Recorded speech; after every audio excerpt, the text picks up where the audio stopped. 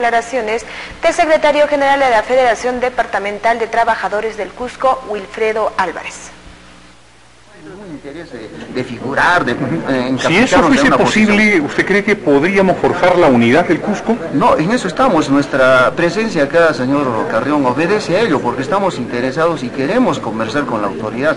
Y en buena hora que se haya convocado para esta tarde, para estar presentes y buscar pues una El planteamiento es de conformar un equipo técnico, una comisión, una comisión técnica. Realmente que sí, técnica y también de parte de las principales organizaciones, porque creo que el interés es de todos los cusqueños el que tengamos el aeropuerto, pero en condiciones favorables y libre de corrupción. ¿Hay algún nivel de solidaridad con el gobernador o lo van a seguir tratando como traidor, como ya dijo usted? No, yo creo que, bueno, hay que dejar de lado, no vamos a seguir removiendo algunos, algunos temas, algunas versiones. Particularmente yo, no, no ha nacido de, mi, de mis labios el, hecho de traidor, seguramente ya...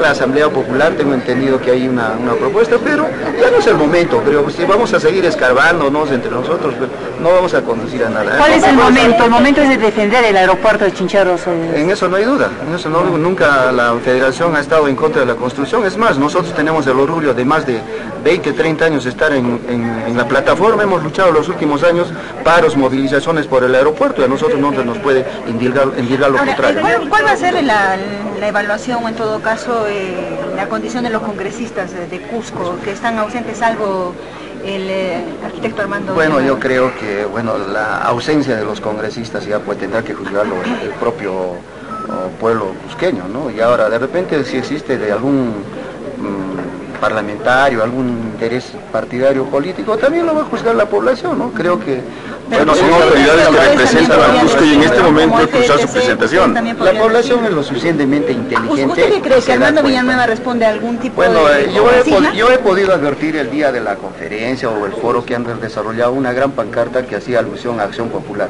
¿No? Y no me parece eso lo correcto porque acá de lo que se trataba es fijar el tema del aeropuerto y, la reunión con la sociedad. Y la posición de los otros cuatro probablemente, congresistas. Probablemente existan algunos intereses que lo vamos a rechazar definitivamente, no es el momento. Y peor aún, que tengan que tengamos Hay que decirlo más bien claramente ahora, ¿no? Porque hay esas intenciones populistas o de campaña electoral, tal vez. No, por nuestra parte no tenemos ningún interés, ¿no? Desde, la, federación, la prensa, la población Pero es que va a tener que claramente quiénes están detrás Pero por eso le, estoy, le estoy indicando, le estoy explicando de que, por ejemplo, no es de nuestra nuestro agrado, no lo tomamos de la forma más ah, correcta el hecho de que estemos publicitando a un partido político como es Acción Popular en un tema tan importante que debe unirnos al pueblo cusqueño. Creo que estamos siendo lo suficientemente claros.